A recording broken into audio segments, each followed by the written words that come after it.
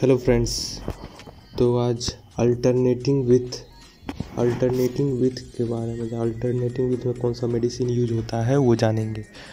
तो फ़र्स्ट है rheumatism and dysentery rheumatism and dysentery में कौन सा मेडिसिन आता है? एब्रोटेनम एंड काली विस्मत rheumatism and dysentery rheumatism and dysentery abrotanum and काली विस्मत नेक्स्ट है constipation and diarrhoea constipation and diarrhoea the drug drug कौन सा होगा? Antimonium crude bryonia collinsonia nux vomica.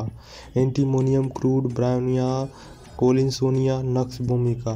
Constipation and diarrhoea antimonium crude bryonia collinsonia nux vomica and next है headache and lumbago headache and lumbago the drug is headache and lumbago में the drug is aloe socotrina aloe socotrina headache and lumbago the drug is aloe socotrina next है heart disease heart disease and rheumatism heart disease and rheumatism heart disease and rheumatism the drug is kalmia latifolia kalmia latifolia the heart disease is kalmia latifolia heart disease and rheumatism. The drug is calmia lentifolia.